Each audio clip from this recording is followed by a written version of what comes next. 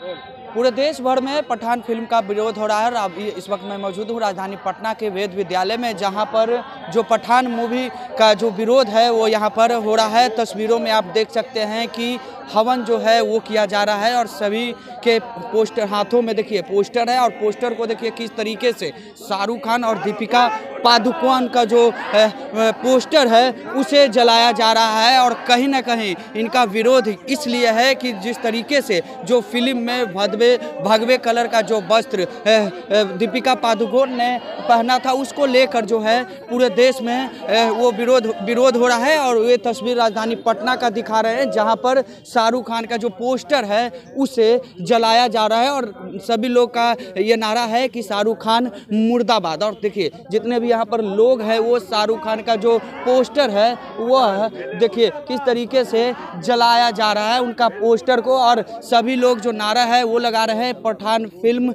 मुर्दाबाद। पठान फ़िल्म में सनातन धर्म का जो भगवा रंग है, उस फ़िल्म में एक हीरोइन वस्त्र पहनी है। कहीं ना कहीं हम तमाम सनातन धर्म के जो लोग हैं, उसको आघात पहुँचा है, ठेस पहुँचा है।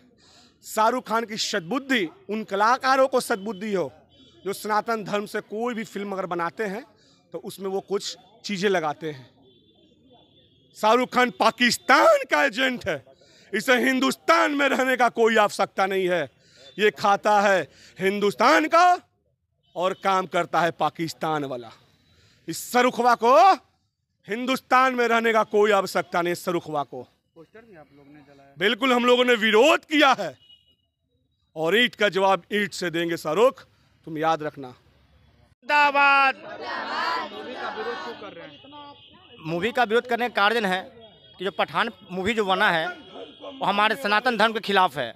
उसमें भगवा रंग का जो पहना कर जो प्रदर्शन किया गया है उसके विरोध में हम लोग प्रदर्शन कर रहे हैं। क्योंकि इसमें जो भगवा रंग पहनाया गया है, वो हमारे सत्य सनातन धर्म का प्रतीक है।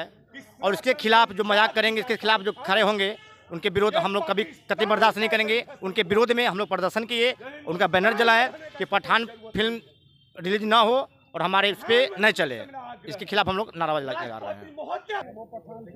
तो ये पटना का तस्वीर दिखा रहे थे, जहाँ पर शाहरुख खान की जो मूवी है, आज पठान फ़िल्म का रिलीज़ हुआ है और उसको लेकर पूरे देश में जो है, वह बवाल मचा हुआ है और उसको लेकर राजधानी पटना में भी ये तस्वीरें सामने आ रही है। खबरों के साथ बने रहे और देखते रहे नौ बारह टाइम्स, बिट्टू गिरी के साथ, पटना।